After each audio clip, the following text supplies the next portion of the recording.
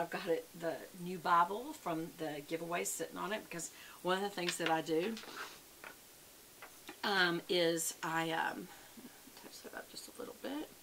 One of the things that I do is I go in and I um, highlight some things for y'all in the Bible. But anyway, I'm now using a Sigma Large Fluffy E50. I don't know why I feel the need to always look. I'm going straight across here, y'all. I am. So I'm going to Cashmere Bunny. Now, I've used Cashmere Bunny. It must have been in another palette because I do like that. I think there was a natural, natural eye before palette. So maybe they just redid this, this same palette. I don't know. But uh, Cashmere Bunny was on it and it is the best transition color because it is a true like caramely tan as you can see. So what you could do with this is be finished right now you don't have to add a, a darker color. And I may not because I'm doing these kind of darker colors today. But what I may do instead is I may add some of these sparklies on my lid. That's what I might do. So I'm just kind of putting it on and pulling it down to the crease, away from the brow area to kind of blend it. And we'll blend that so everybody calm down. That's like, oh my gosh, does she not realize how much she has on? Yes, she does. Calm down. And I'm going to go ahead and take a pencil brush, which is an E30 from Sigma. Roll it because it's tapered. Definitely tap it off because I'm going underneath here. And I'm just going to connect because I've already done my liner, which was the IT Cosmetics No Tug Gel Waterproof Eyeliner. Can you believe I said that for once, ever, that fast?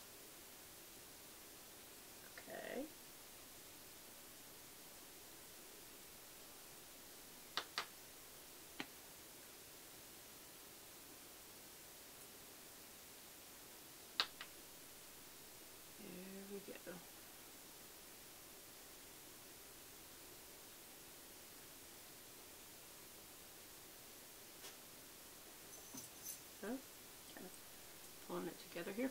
And you know what I might do? I might go ahead and take the same one and go into the darker color, the Sexpresso. Really? It really bothers me, y'all. I hate when everything's about sex. And then we wonder why our kids are having sex out of marriage and so young. It's because we allow this to happen. We don't say anything. We don't say it's bad or wrong. Parents never speak up or they feel they can't fight it so they don't try.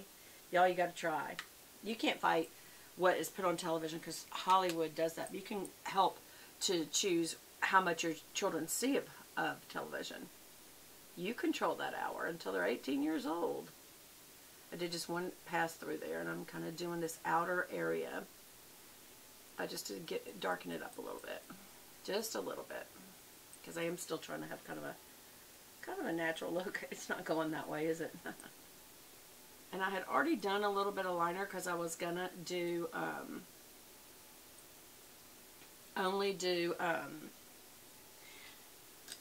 a natural look, but I may touch up the liner. I didn't want to do a big wing. I just wanted to have liner there. Um, now, I'm going to use the short shader, and I think what I'm going to do is use this Erotica, but going to get this wet. Now, you can use a MAC um, Plus and spray your brushes. I don't. I don't. I guess I should, but I don't. It's just me using it. I don't mind mine, but. Alright, and so I'm going under the lash with this kind of sparkly dark color. And I'm using this short shader E20, which is like a smudge brush. And that will give it just a little bit of sparkle under there. In the same dark brown. But actually, I think this is a little cooler of a dark brown. But that's okay, too. It's a very subtle thing, and I like it. Now, where's the flat shader? I don't have a flat shader. Are you joking me? You know I do. Are you kidding me? I don't have a flat shader.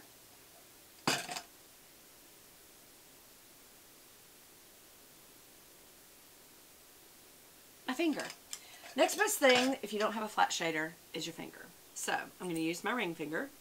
I'm not going to wet it, and I think I'm going to go to push up. Or should I go to this gold honey pot color? Think push up. It's a little, or, yeah, it's right there. So I'm just going to, and just look how your own finger, look, wow, that's very chunky. Sometimes theirs are, see faces are. But that's a pretty color. So I'm just going to put that on the lid. And for some reason, skin to skin works very, very well. A flat shader is a larger flat brush. It's just flat like a paintbrush. And so it tends to lay this kind of a color down better. And I'm just now going to blend this up into the crease barely, just a little bit. Just a little bit. Sometimes when you look up, it'll naturally do it. But also I didn't have a clean line, so that's the real reason I did it. Go all the way in and a little on the inner corner. And then up. Just enough to blend it up a little bit. And all it does is give you a little point of interest. It's pretty. Yeah. And I'm going to keep up here matte. I'm not going to carry that on up there. I started to and I thought, no, I'm going to keep that matte. So now what I need to do is blend. And um, what would I say about this palette? I think the packaging and the colors to look at are incredible. Would I tell you to go out and buy this palette? I don't think so, and I'll tell you why. The colors are good, but I've got plenty of other palettes that have them. Really, they're kind of basic now that I look at it. And I just, I almost regret buying this because it's just the nasty names. I know some of you like, Beth, get over it. It's just names. It, it, I, don't feel like it's right. I really don't. I, I feel like it, it harms our kids more than we think it does. And they don't think it does. So don't expect them to say anything. But it does. It sends a message, especially to the girls, that they've got to be sexy. I'm blending this line away right here. And you don't have to be sexy to your boyfriend. Your boyfriend should like you for who you are and your personality. And yes, if you have natural beauty, what a blessing. If you want to add a little makeup to kind of primp up a little, that's fine. But if that's what a guy wants you for, then the next pretty face that comes along or the next big, beautiful body that comes along, he's going to go to that. You want him to love you for you. And if he doesn't, all the makeup and all the nasty sex talk in the world will not keep him because there'll always be someone else who'll do that and probably better than you, I hope. Uh, so we're just going to blend this out. See how the line just went away? So we'll say it blended out well. Blending that line away. And that's a much more blended, kind of a more natural look, except for on the lid where we have kind of a shiny color. Y'all, I know you probably sometimes think I'm just too strong and too... Oh, I bet some of you youngins think I'm, um... When I say youngins, I mean anybody 30 and below. you may think that I'm old school. But you know what? I was 20 and I remember all about it. I remember my teens. I remember thinking that I needed to be sexy so people would like me. Not just the boyfriends, but the other girls I was competing with. Y'all, we should not do that to each other as women. It just really angers me that we do that to each other. Foo, foo, foo on us. We shouldn't do it. Alright, so I'm going to do my eyelash curling beforehand because I am going to add back a little bit of a wing on the edge. Not a long wing, just a little short one to make my lashes look like they go up on the end. This is a Charlotte Tilbury eyelash curler. Um, you know, eyelash curlers out there, everybody says that they're all the same.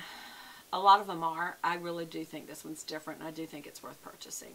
It's not cheap because nothing Charlotte Tilbury does, but she has a lot of research and a lot of excellent packaging, and I think she goes the extra mile on just about everything that she creates. So, let that out a little bit and curl it back towards my socket. I do hold it a little longer, I guess, than some people do, huh? Go figure. Alright. See how it just pops the lashes right up? Sorry, I pinched myself. And it just, it's such a wide, it's a little bit wider of a band. Longer easty-westy. And so it just gets all the way in to the corner and all the way out to the outer part of your eye, all the lashes. And then the band, as far as the height of it, it it's pretty much spans almost, for my eye, the um, the height of my lid. And so it really does a good job of getting all the lashes done. Now I let some of my lashes out a little ways and I clamp back down and I've lifted my elbow which curls back towards the socket more. So the first thing I did was make the L position crimp and then I let them out a little and curled them back towards the socket. And then what do we always do? I'm going to have to get this. We always clean it off because makeup that's already on your eye, your eye's already moist from whatever you use to moisturizer or whatever, uh, laying a primer, and so this will get moist and it'll cake up. So always clean it right afterwards. Every single use. There. Now I'm going to get my DHC Liquid Liner EX. It's Perfect Pro um, makeup. And I'm just going to have a tiny, tiny little, there, That's all I want. Bring it all the way in though. See, it's just a little teeny wing. And I'm barely going to bring it in right on the lash line. Just for coloring. I'm not even going to go all the way.